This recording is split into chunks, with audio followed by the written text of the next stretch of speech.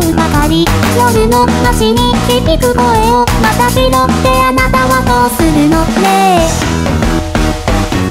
他人のような心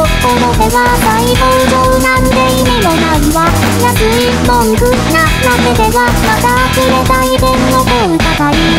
本を開いて白いの傘にがふりをした冷めた。